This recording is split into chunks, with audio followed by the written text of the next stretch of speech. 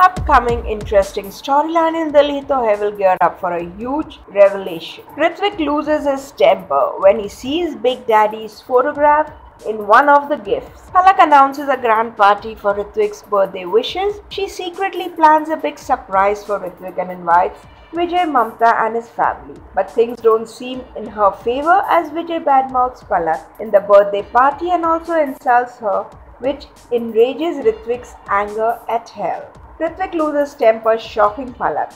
Ritwik's incensed anger brings a drastic when, he, when he breaks all the gifts and lashes out over Palak's ill behavior towards Palak. While Palak tries to console Ritwik, Ritwik loses his temper when he sees Big Daddy's photograph in one of the gifts. The viewers will get to see a high voltage drama in Ritwik's birthday party where at the end, Ritwik will leave the house in anger shocking Palak Setu and Rohit. So what do you feel about this?